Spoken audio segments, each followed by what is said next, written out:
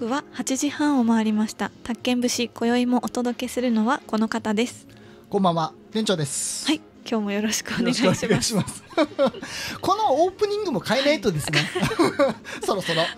マナミンさんのこの入りはいいんですけど自分の入りが下手くそだからそろそろ変えないとなーって思うんですけど、えっと今週も引き続き先週に引き続き、はい。あんまりなんかトークテーマがないんですね、うん。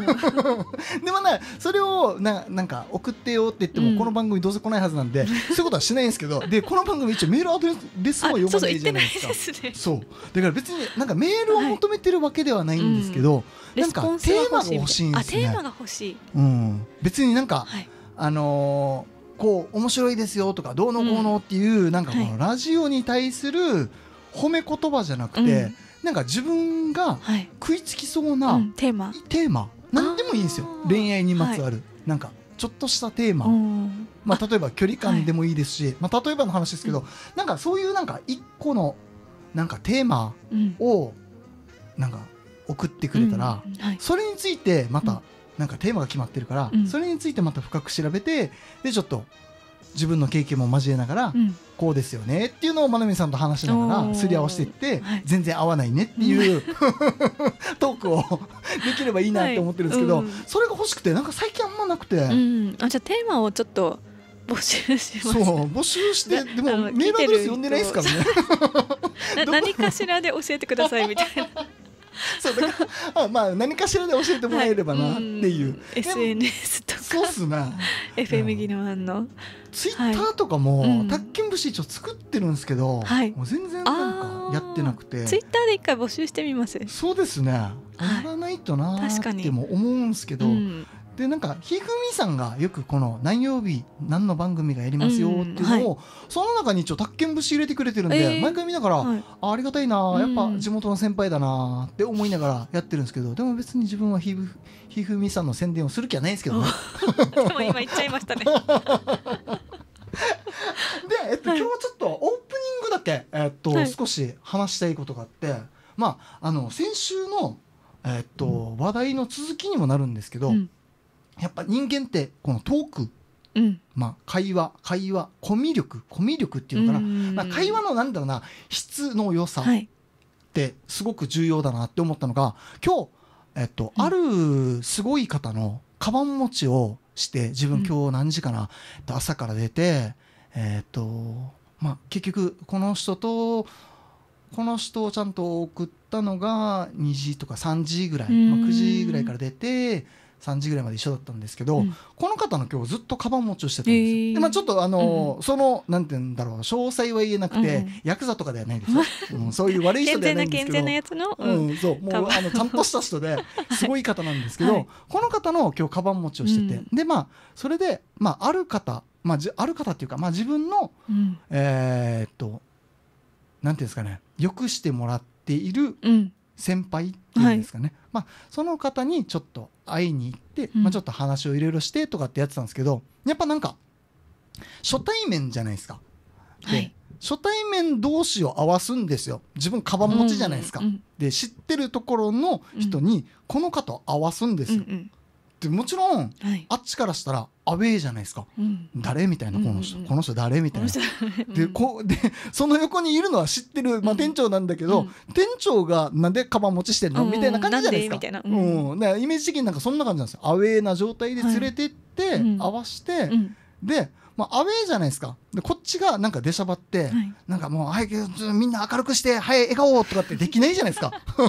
じ自分よりも、あの、うん。すごい人たちなんで。できないから、だまあ、ちょっとアウェーだけど、とりあえず黙っとこうと思って。うん。やっぱ、この方がとっても、女性の方なんですけど、へー。あのー会話が上手なんですね。で、いっぱいなんていうんですかね、人生経験をされてる方で、うん。すごい方なんですけど、うん。やっぱなんかこの人生経験をしてる人って、うんなんかこの厚みがあるっていうか、うん。よくなんていうんですかねあのーなんだろう偉そうにこう喋る人で教科書の中身だけ喋る人間って、うん。やっぱ中身がないんですよ。結局、うんうんうん本から得てる情報だから、うん。自分の経験じゃないんで、が入ってないですもんね。うん。なんか、かあの説得力もないし中身もないんですよ、うん。でもやっぱこういう人たちってやっぱ説得力もあるし、うん。引き出しいっぱい持ってるから、うん。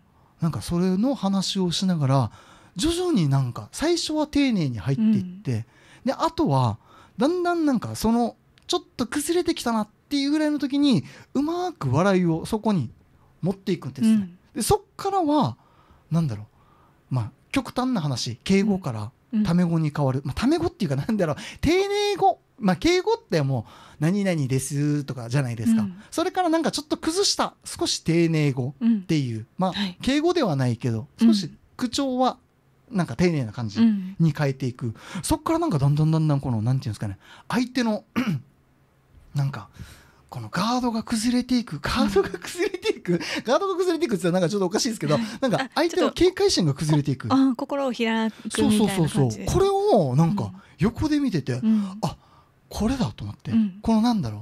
トーク力トーク力とかコミュ力っていうよりかは会話の質？うん。なんなんだろうな。えっと例えば自分みたいなアホな男の人がいて おじさんがいて、うん。でそれはなんか明るく喋ってみんながまあたまたま笑ってくれて、はい。でその場が和んでそこでなんか意気投合してうん。こうなんか合致するっていうのもうん。一つのあなんか、まあうん、あれなんですけどそれってコミュ力だと思うんですよ。うん。でも会話の質ってなんだろうなこのこの人が喋っている経験談うにん。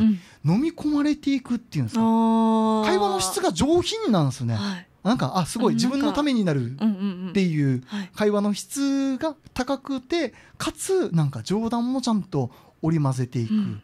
だからなんか自分がアホみたいに喋って人が寄ってきて なんか合致するのとは全然質が違うくて、あー。やっぱりなんかこうちゃんと警戒心なくなってくっつくんですけど、うん。やっぱりなんかそこにうん。なんだろうな敬うではないですけど、うん。なんかやっぱちょっと尊敬の眼差しを持ちながらちゃんと会話する、うん。でも相手も砕けてくるっていうこの崩す感じを見ててあ,、はい。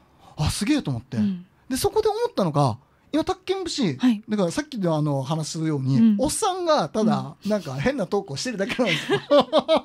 でもやっぱ会話の質を上げるっていうことは、なんだろうな人生生きていく中で、うん。人との出会いっていっぱいあるじゃなはいいですか。たくさん。うん、でどうしてもこの人とつなげたいっていう出会いがうんはい。あるんですよ。自分もなんかこういろいろ会社をこう経営しながらとか見ていきながら、まあ、この人とつながりたいっていう瞬間があるんですよ。はい。めちゃくちゃすごいでなんか雰囲気もすごくてうん。この人憧れるなって思う人がいるんですけど、この時に引き出しがないんですよ、うん。こんな恋愛の話ばっかりしてるから。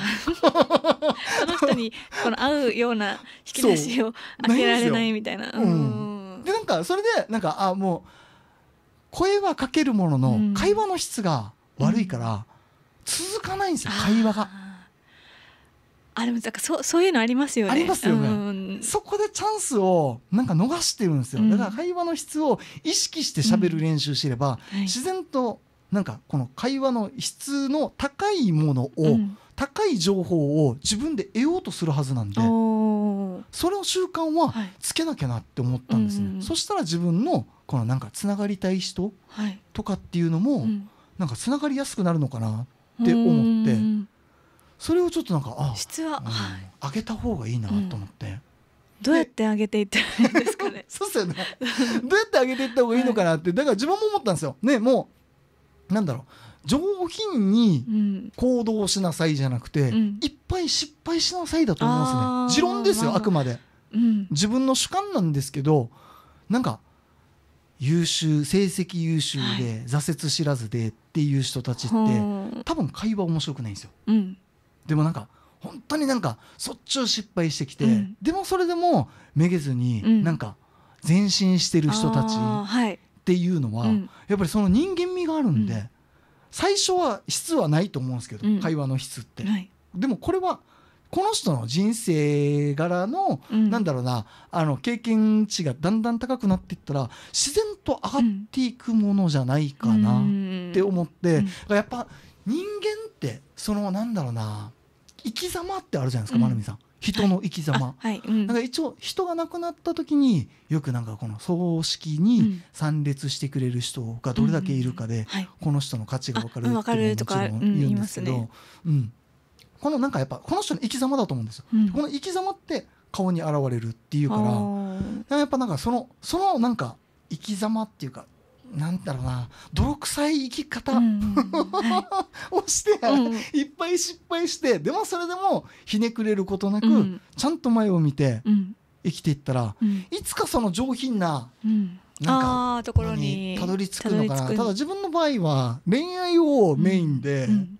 なんだろう人生過ごしてきてるんで、うん。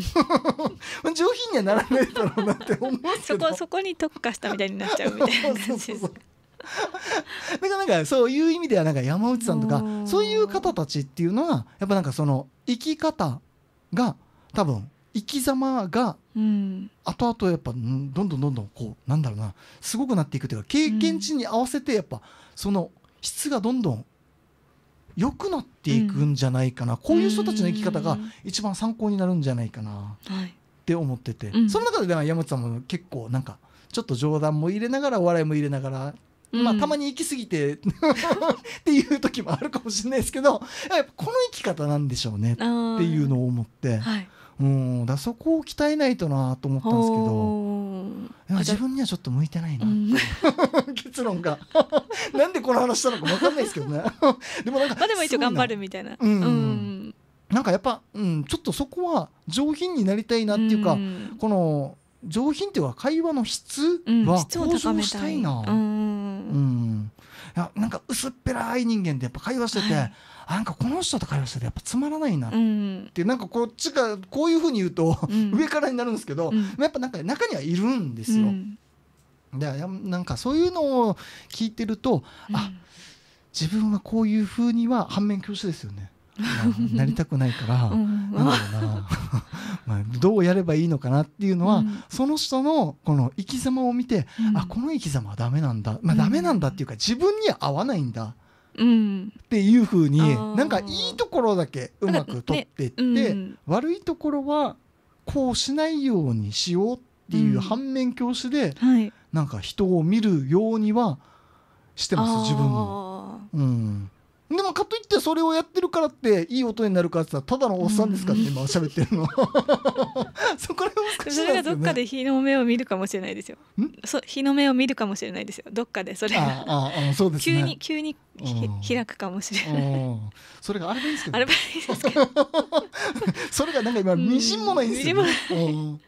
まあでもとりあえずなんかこのラジオで今はうん。この恋愛を話せてるから、うんまあそれはそれで自分のなんか一つの生き様っていうか、はい。もう店長ってこういう人だよっうんていううん。自分の中の生き様でこれはこれで別にえっ、と望んでないわけではないんで、こういう感じな人になりたいなっていうのもありながらこういう話もしてるから、うん。まあだからなんかそれはそれで的を得てるのかなって思うんですけど、うん。もうちょっとでも大人にならないかなっていう。の は思いました。これがオープニングトークスであオープニングトーク。何の話してたのかな？これも結局。半分くらいですうん。ねただなんかやっぱあの人生生きていく中で、この会話の質っていうのがあるよっていうのは、なんかどこか伝えたかったあから多分あこの話したと思うんですけど、まあでもそれは本当にあると思いますね。うん。うん。その質ってやっぱ、あのー重要だと思うんで、うん。それを持ってるか持ってないかでうん。今後出会う人とこうなんだろうな距離を縮める縮められないはうん。そこにちょっと大きく左右されるのかなっていう。ね。うん。うん。いざすごい人それはでもあが来てるかもしれない。うん。っていうのがあるから、はい。うん、なんですけど、うん。まあ、それぐらいにしときましょうね。で今日実際やりたかったのが、はい。そう会話なんですよね。この会話でやっぱりなんだろう女性とのこの距離感の詰め方で一番手っ取り早いのっていうか一番なんだろうな、うん。効果を発揮するのは、うん。やっぱり会話、うん。で口説くのもやっぱ会話はい。のこのまあ質とは言わないですけど、うん。なんか警戒まずは警戒心を解くためはい。に入っていくじゃないですか。でそれをなんかまあ土足でガツガツ入られると、真鍋さんみたいに「あもうこの人ダメ」ってなってしまったら そっからな軌道修正するの難しいんで。そうじゃなくて、うん。なんかその入り方を、まあ、今回ちょっと、まあ、先週に続いて話してるのはそこなんですよ。この入り方を男性はどういうふうにした方がいいですよっていうのを、うん。申し訳ないんですけど、はい。まなみんさんが実験台になってもらって そこをちょっとなんか、はい。あのーー。編み出したいっていうか、はい。うんうんでそれを自分は万人受けするかどうかうん。を試したいんですね。そのなんかなんだろうその最初の入りの会話はい。の中でうん。万人受けするこの入り口のやつを探し当てた時にうん。今のこの宅建節で喋ってて、で出した時に他の女性に試してみて、うん。あまなみさんにも通じて、うん。かつ他の女性にも通じるってなったら、これはなんか世の、成功例うん。になる、男の人たちに成功例だから使ってくださいね、うんうんで同時に自分も得するんで、はい、一石二鳥みたい 気に入った女性がいれば すぐそれを使うんで、ななるほど。うん、っていうのをしたくて。でえっとまあこの話をする前にうん。ちょっとだけ、あのーなんだろうなコンビニでトイレしてて思ったのがあって、うんはい。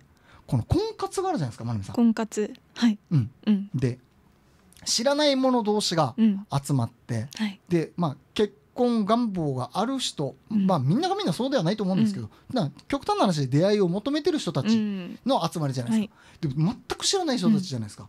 でその中で10人十色だと思うんですよ、男性も女性も。はいなんだろう積極的に自分がいいなって思う人に声かけて話できる人もいれば、なんかちょっと自分がこの人に話しかけるのもななんか違うよね、うん。だから3ランクぐらい下げたちょっと男と話そっかなぐらいの感じの、うんだからねいろんななんかそこでなんかいろいろなんだろうなうんと品定めじゃないですけど、がいいかな言葉みたいな。がちょっとっていう。う。ん人たちが集まってて、う。んで最初はもう。みんな硬いじゃないですか、う。んどう。しよう。どう。しよう。はいみたいな、だからその中で多分なんかこのプランを見てるとなんかう。んゲームをして、でなんか何分間でう。んこの席を交換してトークタイムみたいなのをはい設けてますってなった時にいろいろ書かれてるんですけど、う。ん自分が思ったのはう。んパッて例えば10名10名でいるじゃないですか、う。んでパッてなんだろう。この外に出れないもう部屋の中に入れられてはい、でこっから3時間、うん。外に一切出ることができませんみたいな。はい。ではいどうぞご自由にしてくださいって言われた時に一、人の男性はもうひたすら10、10じゃないですか、うん。で10名の女の人にはい。なんかもう声かけてるんですよ。お姉さん綺麗だねっていうのをはい。あ10名に言ってるんですよ。10 名に。はい。10名に言う男性と、うん。でなんかもう一人の人は、うんなんかちょっと明るいけど、うん。ちょっとなんかトークが下手くそ。でもなんか声をかけたいからはい。うん。頑張ってる、あーそれは女性もわかるっはい。うんうん。うんはいていう感じな人、いるじゃないですか、はいいますね、うん、なんか頑張って喋ってるけどトークが全然面白くないみたいな。何のトークしてんでの頑張ろうとしてる気持ちはわかるけどみたいな、ううん。これってやっぱ女性もわかります？まなみさん。あ一応うんわかる時はあると思います。男がうやっぱわかるんですね、うん。なんかそういう男性と。でもう一人はなんだろうな。もう本当に自分でうん。なんだろう。あの自分はルックスがいいって自負している、だから別になんうん。か、話さなくてもいいうん。んだみたいな。誰にも寄ってこない。まあだから今の世で言う福山ですよね。福山雅治ですよね。おーうんもう女性が普通に寄ってくるみたいな、はい。っていう経験を持っている男性、ともう一人はうん。なんか話はしたいんだけど、うん。あまりにも奥手すぎて、うん。なんか行動に踏み出せない。でも行動に踏み出そうとしてるのはなんとなく分かるんですよ、例えばなんかこの近く女性がいる近くにはい。わざわざ行って,、飲み物ついてでまた戻って、はいうんうんうん。でもなんかこの行動ってはちょっと不審で、はいちょっとねなんか、わかるじゃないですか。何何がしたいのみたいなやつわですよね。それってなんかイコール女性と会話したいっていう中で、うん。この人種 この今挙げた人種はい。で一番誰に声かけられた方が ちょっと極端ですけどね、はい。でもうん。誰に声かけられた方が女性は、うん。うーん警戒心がないっていうのかな、うん。なんかあんままなみさんが言うよく、はい。打ってくるっていう、うんあの感じが一切出ない人って、うんこの中で言うとどんな感じですか、あどんなケうースか？っていうのが一切出ないのは、あでもなんかあーなんか一応良くも悪くも、うん。この、まあ、ルックスが良くて、はいはい。だからといって喋らない人っていうのは、うん。要はそのなんていうんですかリスクもないじゃないですか、はいはいはいはい。話されたと話されることがないから。はい。だからなんかもう まあ普通なのかなと思って。であの全全男性にこううん。話しかけてくる人可愛いねみたいな感じでですよね、はい。は正直多分おおってやっぱ引きますなる、はい、こういう人は。でもなんかその人がうん。なんか逆にそう場場を盛り上げるようなうん。キャラを持ち合わせてたらうん。多分話しや話しやすいとか印象はいいかもしれない。うーん。うんでうん。ではいはいはいはい。そのなんか必死に盛り上げようとしてるけど話がちょっと下手な人 はいはいちょっと不もうな。んか器用なうん。うそそこまで悪くはない。なんか一応がん、うん。頑張ろうとしてる気持ちはうん。わかるから。なんかそこに合わせてあげたいと思うんですか？合わせてあげたいと思うかはちょっと わからないんですけど。ああでもうん。少なからず変な警戒心とかうってなるのはないってことですか？なんかうん。もうめっちゃ下手くそなんですよ。その人,、うん、その人も一応話しかけてくるんですか？ガツガツ。あまあガツガ話しかけてくるうんかけてくるんですけどはい。なんか話しかけてくるうん。なんだろうな的が全部ずれてるっていうんですか。ん空回りしてるっていうんですか。それが連続で来るとちょっとなんかもううんってなるかもしれないですね。そしたらなんか自然と会話したくなくなります、そうですね。なんかもうずずれまくるとなんかもうちょっと、うんその時のまなみんさんのこの対応ってどんな対応するんですか、例えばなんかこうちょっとうん。下手くそなりにはい。頑張ってうん。話しかけてくる、はい。でも全て的外れな男性がいるとするじゃないですか、はい、でももうまなみんさん。しかいないんですよ、うん、他にあ他の人は他に女性が周りにいないんですよ、はいいなくて私がもう相手ロックオンされてるんであたまになんかそういうのありますよね、ってなった場合に、うん最初は多分うん。警戒心がないからうん。受け答えしてくれると思うんですよ、でもうんだんだん時間が経ってきて、うん。まなみんさんがうん。なんかちょっとうーんって思い始めた時にどういう対応を取ります？この対応を男性は知らないといけないと思うんですよ。はい、なんかあなるほど。うん、モールス信号ではないですけど、うん。そこまでもう乗り気じゃなくなってるってことですよね。最初は頑張ってあれするけど、うん。もうちょっともう無理だってなったら あの質問を返さない、質問を返さない、うん。なんかそのはい。最初の時はそうやってまあ的外れできても、はい。まあ、どうにか一応会話がつながるように、うんうんうん多分私も質問逆になんていうんですかちょっとその的外れをはい。修正するよううんうんなうん。多分会話をするんですけどでももうそれでもうん。もうとても無理だってなったら、うん。なんかこうやって質問されても「ああそうですね」で終わるとかうん。もう質問されてそれについて答えるだけ。あーでその会話の中で、うん。じゃあ今度ご飯食べに行きましょうか、うん。まあもしくはうん。LINE 交換しません、って言われたらはい。どうします、どうする？どうするんでしょうね。あーどうすあでも多分正直その場うはん。ちょっとあれなので、交換するけど、あー。一あ切返さない。あ一応交換はするんですね。そこで私そういう時なんか逃げれないんですよ。なんか逃げ方をし知らないというかあなんか。ああなんかわかるような感じがする、まなみさんそんなっぽいっすね。でちょできる時もあるんですけど多分なんか今のか話なんか知ってる聞いてる感じだと、うん。ちょっと多分なんかあーみたいな感じで、もうとりあえず一応教えるもうその場は。まあこういう場所に来てるのも自分のなんていうんですかあれだし、とりあえず交換はして、はい。でもなんか LINE はもうなんかフェードアウトする感じで、うん。うん、最低限のことしか返さない。みたいな。さ返さないまたは返事しない。一応既読はします？ああそれも場合によるかもしれないですね。もしかしたら既読も全く既読しないここともあるかもしれない。